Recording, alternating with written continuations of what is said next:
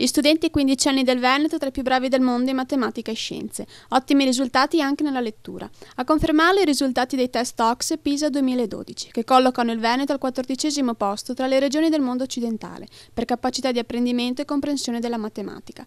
Malgrado la media nazionale non sia degno di vanto, i Veneti sono riusciti a distinguersi tra i migliori della zona occidentale, ottenendo un punteggio pari a 523 punti, appena dietro i trentini e a pari merito dei friuliani, risultando così ai livelli di Svizzera, Olanda, Olanda e Finlandia.